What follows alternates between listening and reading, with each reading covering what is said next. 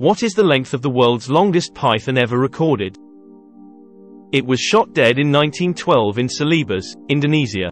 It was measured at 32 feet, 10 meters. For more facts about animals, click on the subscribe button.